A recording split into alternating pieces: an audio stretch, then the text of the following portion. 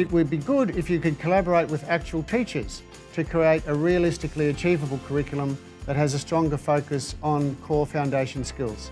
Well, well yes, uh, we couldn't do this review without teachers and in fact we've set up 18 new reference groups involving 360 classroom teachers and curriculum experts from around the country to provide us with advice on what we should be doing, how we should be uh, revising the curriculum. And we've heard loud and clear uh, that they want a decluttered curriculum, refined and updated using the latest research. So uh, we've really put a lot of effort into meeting teachers' needs.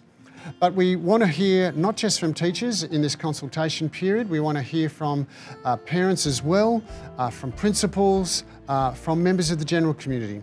So we're very keen that you get onto our consultation website and provide your feedback, and particularly from teachers because this is your document after all that you'll be using to teach in your classrooms.